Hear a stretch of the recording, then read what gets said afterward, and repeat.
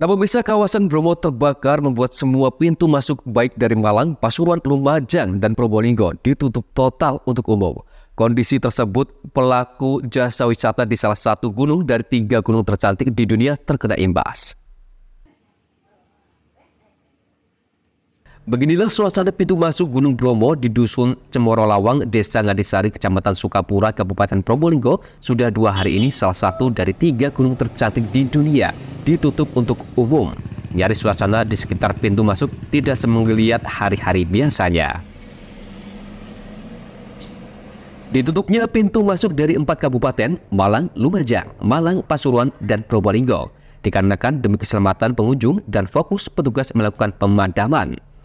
Sejumlah pelaku jasa wisata yang terkena imbas, mulai jasa jeep, ojek kuda, hingga hunian hotel. Pengunjung hanya diperbolehkan untuk keliling di sekitar Bukit Seruni Point dan Bukit Mentingan. Sangat dirugikan karena memang itu mata pencahayaan kami ya. Saya, mungkin selaku sopir jeep juga juga tidak bisa jalan jeepnya dan teman-teman juga banyak juga yang dirugikan seperti tukang ojek, terus warung-warung kopi yang ada di promo, kemudian penjual-penjual asongan, itu ya semuanya nggak bisa jalan karena memang kan ditutup karena kebakaran ini kan. Ya betul.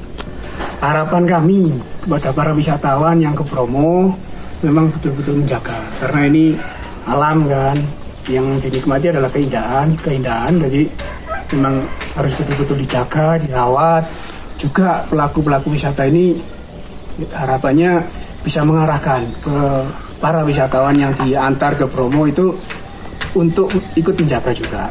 Karena kalau sudah seperti ini kebakaran terjadi karena kurangnya uh, menjaga alam itu yang dirugikan banyak pihak, terutama pelaku wisata pastinya. Sementara jumlah hunian hotel tidak seramai biasanya, sejumlah tamu mancanegara membatalkan kunjungan ke Bromo imbas dari ditutupnya menuju lautan pasir. Uh, sementara ini untuk di Bromo Permai masih ini uh, ada tapi tidak signifikan, uh, hanya beberapa kamar aja yang uh, cancel. Uh, khususnya yang sudah reservasi. Hmm. Tapi yang yang jelas uh, hanya yang walk-in aja yang tidak uh, ada. Hmm. Tingkat cuma itu aja. Keterisian kamar sendiri saat saya ini berapa? Uh, saya uh, enggak ini. Oh, enggak, Jika penutupan ini terus berlanjut, bukan tidak mungkin pelaku usaha di Purwo bakal lumpuh. Farid Falevi, CTV.